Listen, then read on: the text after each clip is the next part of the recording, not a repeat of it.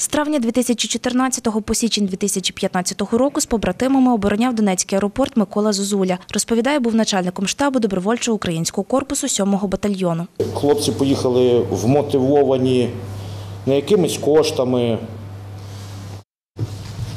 не якимись регаліями. Всі поїхали, бо треба було захищати країну. Тоді нас е, було з Хмельницької області близько 20 чоловік. Додає, проросійським терористичним угруповуванням було стратегічно вигідно захопити аеропорт. Коли тоді почав, почав ворог заходити на аеропорт, стратегічно в нього була мета яка?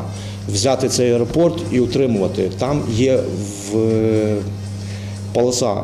Е, До речі, можу сказати, вона дуже якісна, бо там безпосередні вели дії. Ну, скажімо так, ми її хотіли трошки пошкодити, щоб літаки не могли сідати на неї. І то було дуже важко, повірте. Додає, періоду спокою не було. Спокою біля ДАПа не було ніколи, ні жодного дня. Я, я от е, пам'ятаю, було таке, що вогонь не відкривати. Коли почались ці мінські угоди, події, прийшов наказ по операціям військовим вогонь не відкривати. Ну, затища після цього було ну, приблизно півгодини. І зразу з тої сторони і почали прилітати 120-й міномет, працював. Ну, вони почали активізуватись.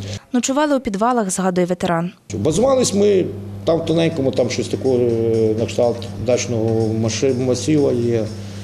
Знаходили хати, там якийсь е, упор був на те, щоб знайти, щоб було бетонне перекриття. Там, ну, спали в підвалах.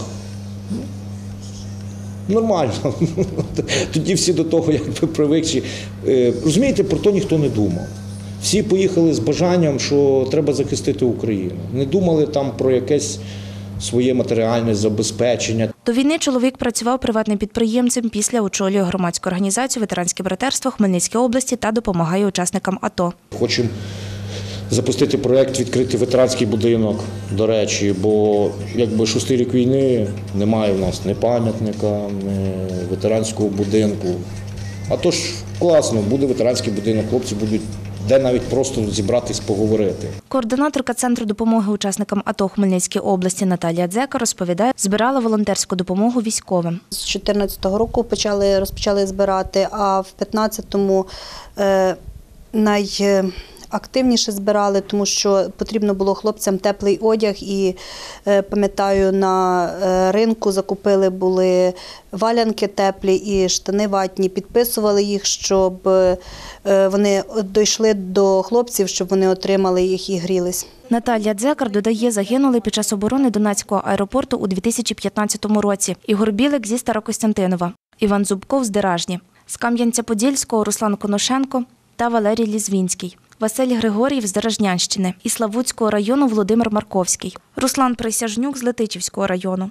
Підірвались біля аеропорту Олег Огринович з Донецького району та Олександр Цисар з Городоцького. Зник безвісти Віталій Ремішевський, який народився в Кам'янець-Подільському районі. Анастасія Збродова, Віктор Кривий. Новини на Суспільному. Хмельницький.